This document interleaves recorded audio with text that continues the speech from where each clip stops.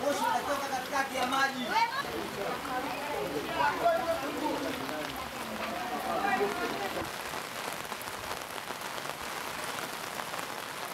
Hali inatisha, hali inatishia amani kiukweli. Watu wamepata madhara makubwa sana. Mali zao nyingi zimeharibika, mali nyingi zimebebwa za majumba, majumba licha, licha ya nyumba ambazo zime zime zimetiwa X na serikali, lakini pia maji yamevamia mpaka kwenye nyumba ambazo pia hazihusiki na, na, na, na, na hizo X.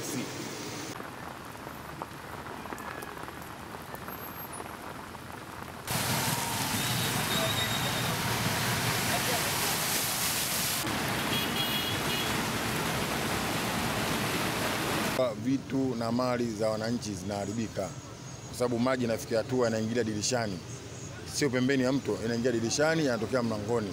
Kwa hiyo mtu anajikuta katoka asubuhi kaenda kazini, lakini akirudi anapigwa simu na wananchi wenzia au na, na majani zake, anakuja na vitu vyote vishaharibika, lakini hali ya kufa mtu hakuna, vifaa tu vya watu vinaharibika.